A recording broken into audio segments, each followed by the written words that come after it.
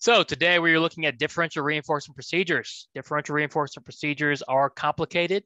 They are difficult for new RBTs. They're difficult for current RBTs, and they're difficult for some BCBAs, to be honest with you. Okay. They don't have to be though, right? So it just starts with differential reinforcement. What is differential reinforcement? That's when you're reinforcing a target behavior and putting other behaviors on extinction. Okay. It's a fundamental way we teach in ABA. We reinforce what we want, okay, while we put other behaviors on extinction. Differential reinforcement leads to differentiation. Differential reinforcement leads to discrimination. Okay. Very important that you understand what differential reinforcement is, how to implement it, because you're going to be doing it all the time. All right. So when we talk about procedures, differential reinforcement procedures, okay, we're just talking about our guidelines of how we implement differential reinforcement. Okay. And the three we're going to talk about is DRO or DRO, DRI, and DRA. Okay. Some of these teach replacement behaviors, okay, but one doesn't. DRI and DRA teach replacements. DRO does not. Okay. And that's important to remember because that's going to help you remember what the difference between DRO is and DRI and DRA. Okay. So I'm going to go into detail of each one. Okay. But let's do a question first. Which of the following examples best represents differential reinforcement of other behaviors?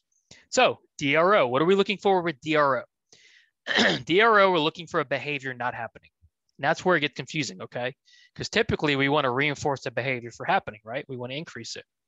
However, with DRO, we're looking at behaviors that are high intensity, high frequency, okay, dangerous. And we really want to work to decrease them as quick as possible to the point that we're willing to deliver reinforcement just for them not occurring. So we're looking for in this question, what is an example of us reinforcing in the absence of a behavior? A, Tiffany reinforces her client when they touch green in the presence of green, but not blue. When does Tiffany deliver reinforcement? When her client touches green. So she's reinforcing a response, a particular specific target behavior. Okay.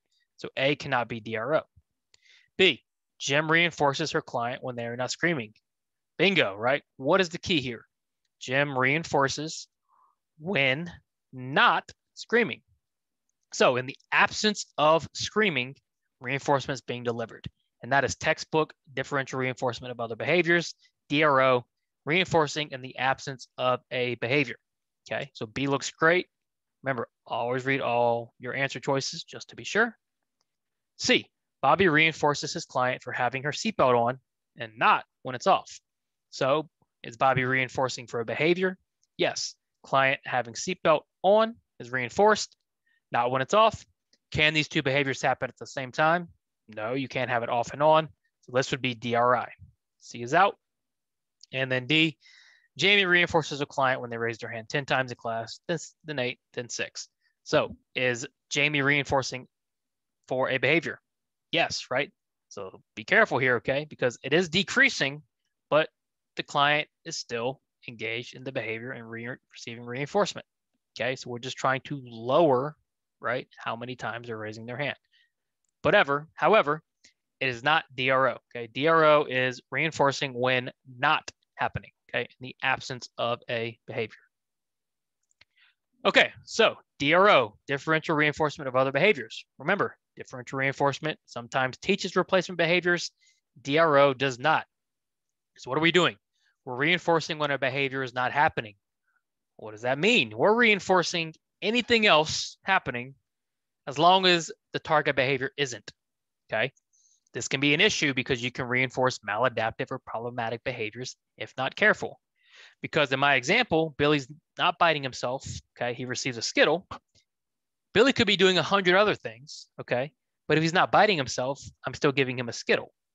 And I can be reinforcing one of those other hundred things unknowingly. So we need to be careful. Okay. When doing DRO.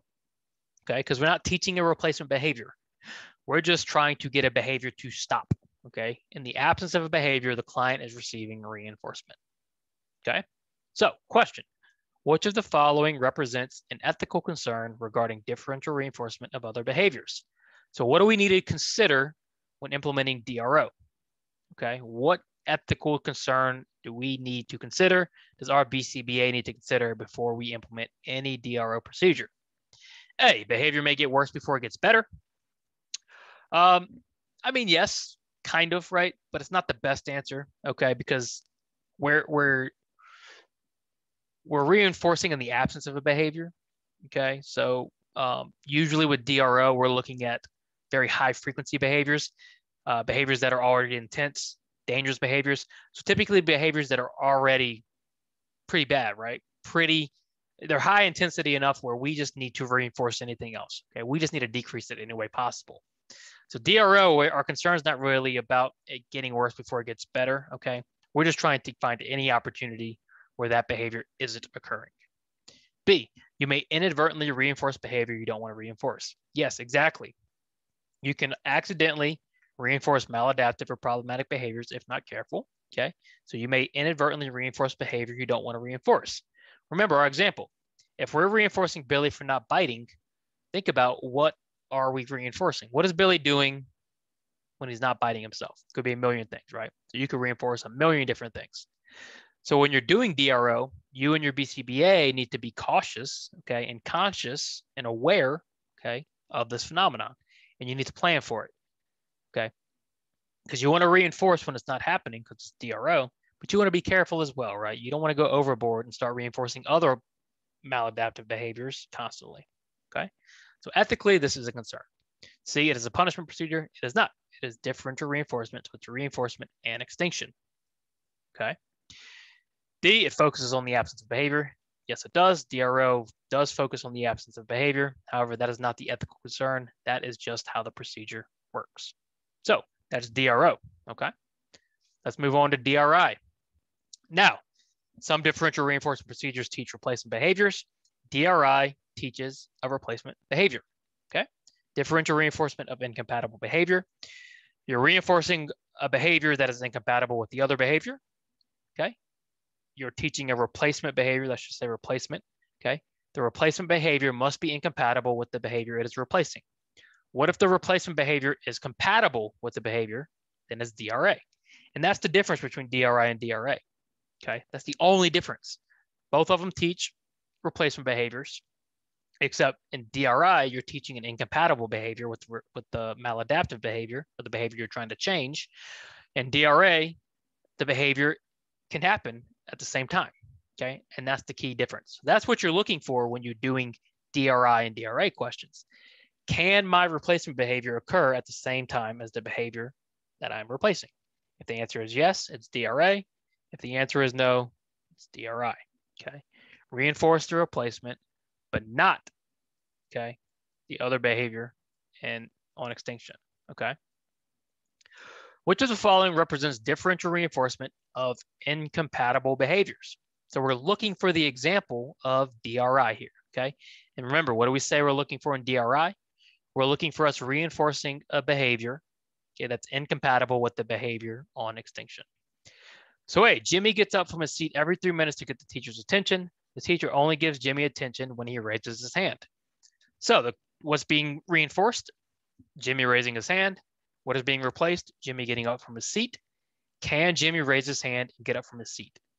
Yes. So this is not DRI, this is DRA. And that's how you should go through each question. Okay. Molly hits mom to request access to the iPad. Mom gives Molly the iPad only when she says iPad, please. What are we reinforcing? Molly saying iPad, please. What are we replacing? Hitting mom. Can they happen at the same time? Yes. DRA. Simple as that. C. Tiffany hits her brother during car rides. Mom plays her favorite song when she keeps her hands on her lap, but stops the song when she hits her brother. What is being reinforced? Keeping hands on her lap. What is not? Hits her brother. Can she keep hands on lap and hit brother at the same time? No, okay. This is pretty good. They look in- incompatible, right? So, so far, C is our best answer. And then D, Ben receives a token every five minutes. He doesn't say a bad word. What does that tip you off as? What are we reinforcing? a behavior not occurring. Therefore, what is that? DRO. Okay. So if you don't understand this question, go through it three or four times because it's a great, great, great, great way, okay, to check your knowledge of the three different types of differential reinforcement. Okay. Because all three are featured, right? And it's similar to what you might see on the exam. So if you don't understand this, okay, go back through it a few times until you do. Now, differential reinforcement is challenging. So if you don't immediately get it, I would move on to other things, learn other stuff first, easier stuff, and come back to it. Okay. Don't stress yourself out over learning differential reinforcement if it's not clicking for you. Okay. Okay, finally, DRA. Again, some differential reinforcement procedures teach replacement behaviors. DRA does. DRA teaches re, uh, replacement behaviors. Okay. Our replacement behavior can be compatible with the behavior we're replacing. So it can happen at the same time. Okay. So we've got to be smart about our reinforcement with DRA. Okay. Because those two behaviors can happen simultaneously, but we need to be sure we're labeling and targeting the replacement. So behaviors can occur simultaneously. Reinforce only the target replacement behavior. It's great for teaching functional communication. All right. Again, what is the key difference between DRI and DRA? The key difference is with DRI, our replacement behavior cannot happen at the same time. With DRA, it can. And what about DRO? We're reinforcing in the absence of a behavior. Okay. So go through each slide, all right, again, and really hammer hammer it home in your mind, okay, the difference between these three, because you will get questions about this on the exam and you want to be able to nail them, okay? So question, which of the following does not represent differential reinforcement of alternative behaviors? Ooh, so different kind of question. We're looking for the one that does not represent DRA. So three are gonna be DRA, one isn't, all right? Read the questions carefully and figure out what they're asking you. A, Joe will call Jenny early in the morning. So Jenny only answers Joe's calls when he calls after 9 a.m. Hmm, this is interesting. Okay. Jenny only delivers reinforcement for what? Calls after 9 a.m. If a call comes earlier, no reinforcement. Can calls come earlier and at 9 a.m. at the same time? Okay. No, those two calls cannot occur simultaneously, right? That's close, right? But this looks like DRI. Okay. Let's keep reading. John will shout out answers in class. The teacher only calls on John when his hand is raised. What's reinforced? Hand raised. What's not? Shout out. Can you raise your hand and shout out at the same time? Yes, that's DRA. DRA. Okay, so B is out. Bill will climb on the counter to get a cookie. Mom only gives Bill a cookie when he asks for a cookie. What's being reinforced? Asking for a cookie. What's not? Climbing on the counter. Can you ask and climb on the counter at the same time? Yes, that is DRA. Jenny will run into her RBT when she wants a hug. The RBT only gives Jenny a hug when she signs the word hug. What's reinforced? Signing the word hug. What's not? Running into RBT. Can you sign and run into RBT at the same time? Yes, DRA. That leaves us with A, our best answer, okay, does not represent differential reinforcement of alternative behaviors. A 5 a.m. call cannot occur at the same time as a 9 a.m. call. All right, that's differential reinforcement. Don't freak out if you don't understand that clearly the first time through. Okay. It's one of the harder ones. I think it's only, maybe the only more difficult uh, would be the one we did last week, which is antecedent interventions, motivating operations. Differential reinforcement is just challenging. Okay. So don't stress out about it. I would learn everything else first, unless it's just clicking. If not, come back to it. Okay. All right. That wraps it up for this week. I hope you have a great Memorial Day holiday. Okay.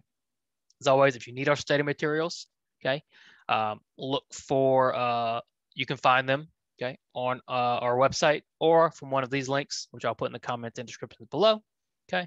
As always, comments and questions, um, please leave and I will help uh, help you as much as I can. As always, study hard and I will see you soon.